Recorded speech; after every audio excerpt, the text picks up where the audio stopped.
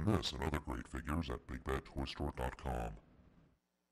What's going on, guys? Today we are taking a look at the Smash Strike figure from the new Godzilla movie. So let's go ahead, get him out of the package, and take a look. The first thing that eagle-eyed viewers are going to notice about Smash Strike Godzilla is that some of the things that are making up this figure aren't exactly the same. And what I'm speaking of specifically are the arms, the top of the head, the mouth, and the tip of the tail and the feet. They're not the same plastic. They're this weird rubbery plastic that has this strange grit on it, almost like cornstarch or flour. It's very, very weird. And all of the really plasticky bit, or sorry, rubbery plastic bits look like they've been worn by about two to three years in sunlight. It's very strange and really, really shows that this is a cheap, cheap figure. And I mean cheaply made. I don't mean actually cheap. This is actually a pretty expensive toy at between 15 and $25. It's not cheap, but it is very cheaply made. Way to go, Bandai. The main gimmick of this figure is his smashing action that is activated with this button here at the tail. Let's watch. Smashing Godzilla Power! Um,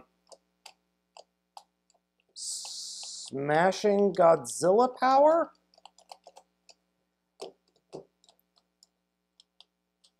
It, um, I said smashing power, not seizure power. What the hell's wrong with you, Zilla? As you just saw, the smashing gimmick doesn't work at all. It's more of a dino seizure gimmick than anything else.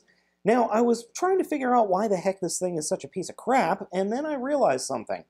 This is the same plastic that they used in the Thundercats figures. Right down to the same plastic pins in the arms.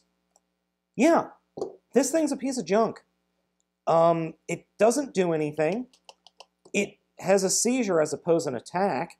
The plastic is such that it's supposed to flop his arms around, but the plastic is too tight in the shoulders and a little bit too tight in these plastic pins. They just don't hold all together that well, except on the left side, which seems to flail a little bit, but you're not going to see it all that much. And then the mouth is supposed to open and close, but it's on this very loose gimbal that just flops around. So all you're getting is a Godzilla figure that looks like he has Tourette syndrome. That's not how I want to envision the King of Monsters. Overall, Smash Strike Godzilla is a terrible, terrible figure. It is a cheaply made figure, it is a bad-looking figure, and it is a poorly gimmicked figure. If you want a good Godzilla figure, go ahead and get the much smaller, much cheaper Pack of Destruction Godzilla. It's a much more show-accurate Godzilla, and you're going to have more fun with it overall. And I think what adds insult to injury is even with Prime riding Godzilla, this figure still looks really dumb. I've been Baltmatrix, and I'll catch you next time.